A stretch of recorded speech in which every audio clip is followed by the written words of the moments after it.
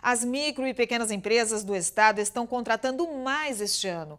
O número de contratações já é 60% maior que no mesmo período do ano passado. Isso significa que o emprego que você tanto procura pode estar aí, ó, em um pequeno negócio bem pertinho da sua casa.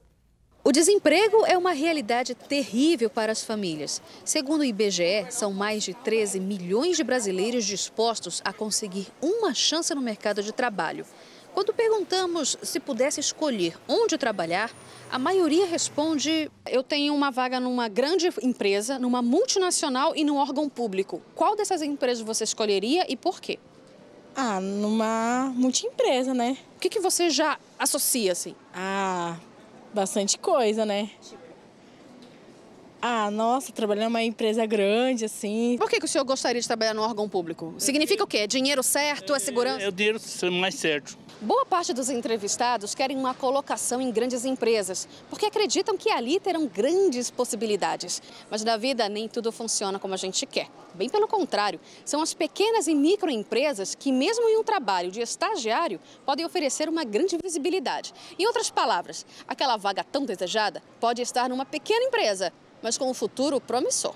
E são as pequenas e microempresas que estão na contramão do desemprego. São elas as responsáveis pelo aumento das contratações. O crescimento é 60% maior do que no mesmo período do ano passado. No caso dos microempreendedores, eles são sozinhos, então é difícil dar conta de tudo, né? Então ele se vê também na necessidade de ter alguém é, para complementar aí, é, o processo de administração dessa empresa. E ele acaba por contratar. E foi essa necessidade que levou a Carol a se tornar uma microempresária. Ela conta que o primeiro ano da lavanderia foi o mais difícil.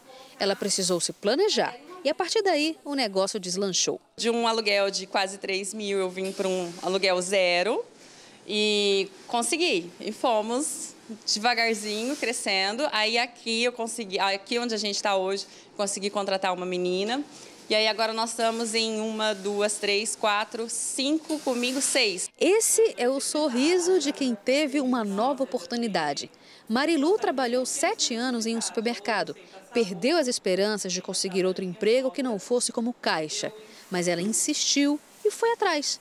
Hoje, com carteira assinada, a felicidade não cabe no coração. Aprendi a passar roupa, coisa que eu não sabia né? Lavo roupa, entrego.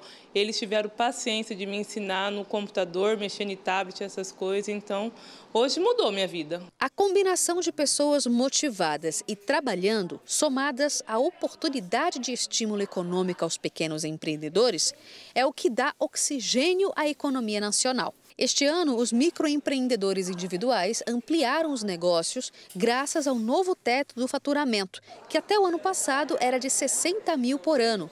Hoje, ele saltou para 80 mil reais, o que permitiu ao Fernando contratar a Andressa. O quiosque de acessórios para celulares deu tão certo que o Fernando conta que foi meio sem querer. Eu trabalhava como ambulante, se for ver, né? E apareceu um quiosque de doce para mim comprar eu vi o quiosque, decidi colocar esses produtos para celular, né, acessórios, e acertei sem querer. Estamos muito bem, graças a Deus. Mas para a Andressa, que fez faculdade de administração, a possibilidade de ter segurança no trabalho é mais do que sorte. A gente tinha sonhos, né, quando fazia a faculdade, mas com essa crise não estava dando muito certo. Mas agora? Agora eu estou feliz.